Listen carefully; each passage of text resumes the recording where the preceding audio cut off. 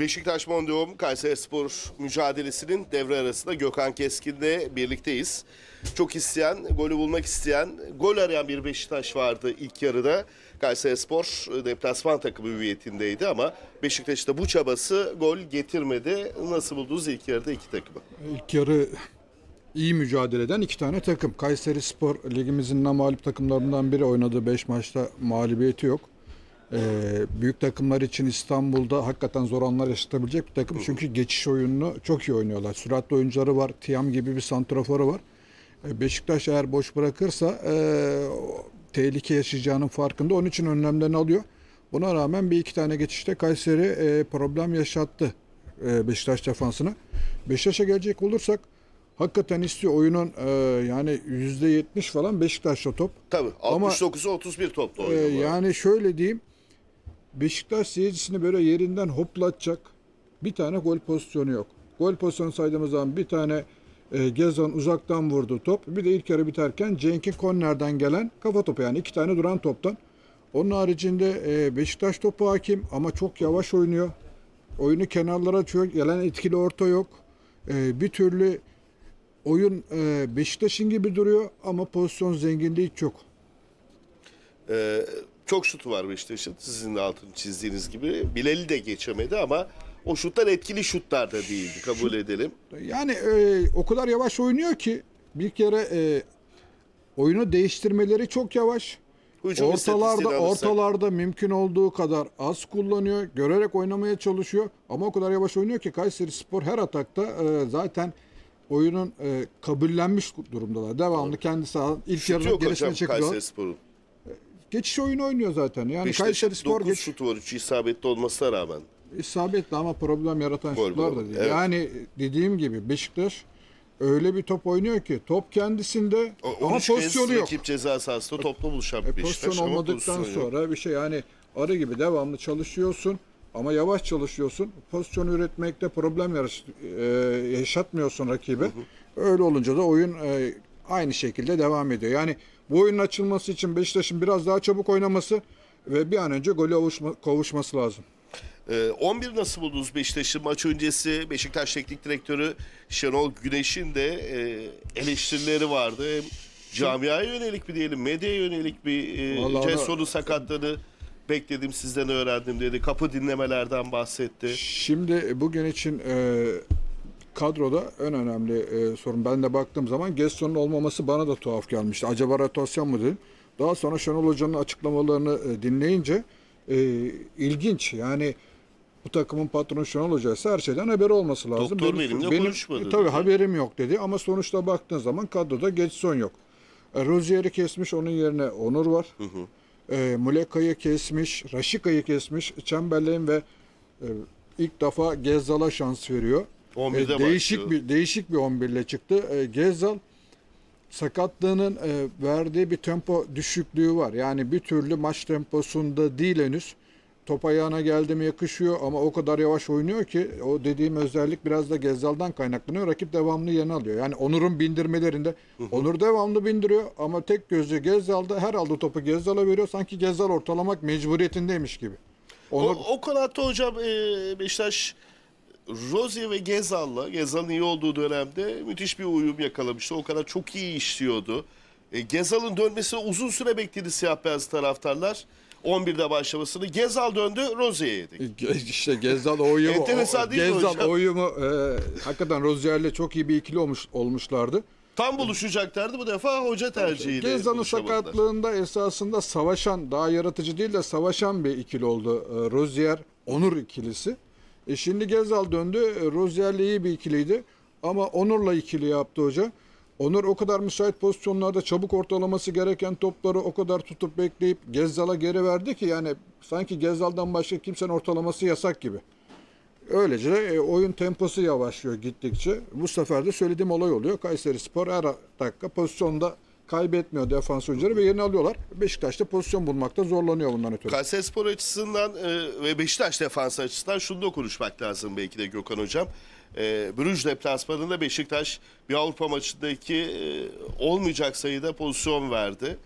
e, kalesinde. Bu maçta da Kayserispor'un şutu yok diyoruz ama ceza sahasına geldi ve e, pozisyonda buldu aslında Kayserispor. Yani Beşiktaş'taki o defans e, bloğunun hataları e, Bruges maçlardan bu maçta da sanki var gibi ama Kayserispor bunu etkili bir etkili Şimdi kullanamadı. Kayserispor geçiş oyununu o kadar iyi oynuyor ki 2-3 tane pozisyon yakaladı. Belki son Girdi hamlelerden dolayı sahası. son hamleler girdi ama devamlı şekilde offside'da kaldı. Yani bir iki adım geç topu geç atmayla alakalı problemler yaşadı ve devamlı offside'da kaldı. Onun harici pozisyon yakaladı. E, Beşiktaş da e, bu tepkiyi görüyor Kayseri Spor'da açık verdiğinden sonuçta ligimizin namalip takımlarından biri. İyi de oynuyorlar. Tehlikeli de bir takım. E, Beşiktaş buna önlem almış. Genellikle Kayseri Spor'u sokmuyor. Dediğim gibi oyun topun yani %71'i Beşiktaş'ta. Yani şunu söyleyebiliriz belki hocam sizin oynadığınız dönemdeki deplasman takımı hüviyetinde gördüm ben biraz da Kayseri Sporu. Az önce ısı haritası geldiğinde de tamamen kendi yer alanına çekilmiş durumda. Yani Beşiktaş'ın kilit açacak bir oyuncuya veya o tarz bir oyuna da ihtiyacı yok mu ikinci yarıda? Beşiktaş'ın e, şu anda ihtiyacı olan şey gol. Gol olacak ki oyunun Kayseri dengeleri gol oyunun oyunun için den- gelmiş tabii hocam. oyunun yani denge- atmak için E, zaten değil. zaten Atarsam da ekstra olur diyor. zaten buradaki kilit gol olması. Gol olması için de çabuk oynaman lazım. Beşiktaş'taki problem bu değil. Bu zaten şu anda. gol Çabuk için oynamıyor. Cenk Tosun oyunda, Abu Bakar oyunda onları zamanında çok iyi besleyen sakatlık öncesinde Gezal o- oyunda Alex e, Chamberlain yine Beşiktaş'ın yeni transferi hücum gücüne katkı verecek bir isim oyunda. Masako'nun çıkışları var ama Beşiktaş golü bir Beşiktaş türlü bulamadı. pozisyonu ilk yok. O kadar e, top Beşiktaş'ta ama o son paslar o son paslarda bir türlü istenilen verim yok. Yani son pası bir şekilde rakibe atarsanız oyunda üstünlüğü sağlayamazsınız. Gol pozisyonu yaratamazsınız. Beşiktaş ceza sahasının etrafına kadar o iyi geliyor. Paslaşarak geliyor, yardımlaşarak geliyor. Ama o son paslarda, o parmak ucu dokunmalarda, o ara paslarında e, son pası iyi kullanamadığı için de bir türlü pozisyon üretemiyor. Beşiktaş'ın şu andaki problemi oyun değil. Yani oyunu bir şekilde Kayseri Spor yarı alanına yıktı ama pozisyon bulmakta zorlanıyor. Bunun için de oyunu daha çabuk oynaması, yön, oyunun yönünü daha çabuk değiştirmesi ve daha yaratıcı olması lazım. Son pasları da daha dikkatli olması lazım.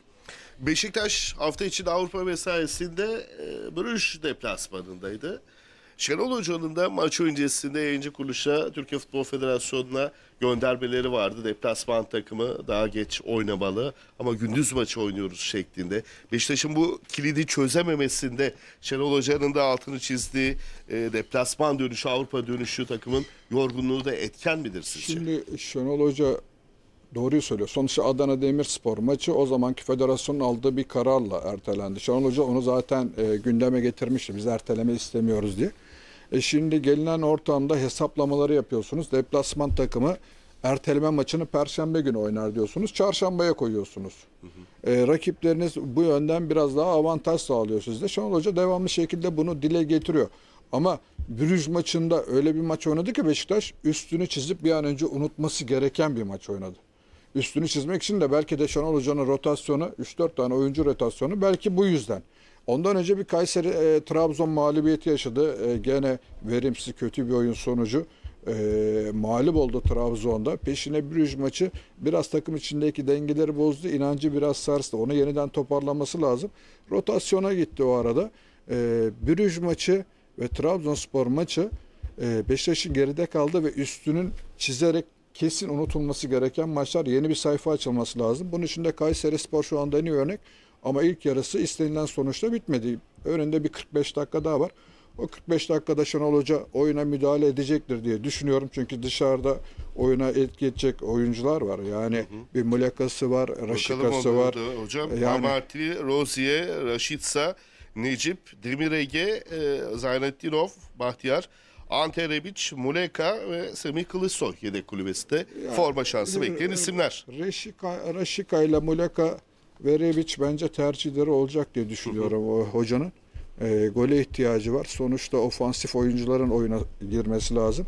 Bu oyuncuları kullanacaktır. Artık Rebic'in biraz sahne alma zamanı geldi diye düşünüyorum. E, Raşika e, bu maç öncesi kesilmişti. Daha önce forma şansı buldu. Oyuna girdikten sonra da et- gerekli katkıyı sağlayacağını düşünüyorum. Yani ikinci yarı 45 dakika Beşiktaş için bundan sonraki e, sezonun geleceğinde çok önemli bir 45 dakika olacak inancındayım. Hocam Kayseri Sporu nasıl buldunuz? Defansif yönü Güçlü bir takım oluşturmaya çalışmış İstanbul deplasmanında yeni teknik direktör Recep Uçar. Göze batan isimlerden biri de e, Beşiktaş altyapısından yetişen Kayseri Spor'da kiralık oynayan Kartal'dı. Ben kaleci Kartal- Bilal'i de e, beğendim açıkçası. Kartal Kayra Yılmaz'ı Kısıtlı bir kadrosu var malum Kayseri Recep Hoca e, Kartal'ı zaten tanıyor. Yani Ümraniye'de çalışırken Ümraniye Spor'u da almıştı. Ondan sonra Kayseri Spor'da görev aldığım için Kartal'ı Kayseri Spor'da aldı. Kartal'da görev verdiği zaman Kartal iyi bir futbolcu. Elinden gelenin en iyisini sahada vermeye çalışıyor. E, top tekniği, top kaptırmaz. E, iyi de bir oyuncudur. Onun özelliklerini bildiği için Recep Hoca aldı. Evet. Şimdi burada o kadro hiçbir zaman değişmiyor. İyi kadrosu var yani. Tiam'ı sayabiliriz, Gökhan. Sazdan'ı sayabiliriz. İyi oyuncular Devam var. edeceğiz hocam. Bir Alanya'ya gidelim. Alanya Spor Fenerbahçe mücadelesi öncesi e, Fenerbahçe kafilesi de hareket etmek üzere son gelişmeleri Ahmet Selim Kul'dan alacağız. Ahmet Selim Kul. Evet Cüneyt Şen. Cüneyt Şen teşekkürler Alanya'dan. Bir kez daha herkese selamlar. Fenerbahçeli futbolcular.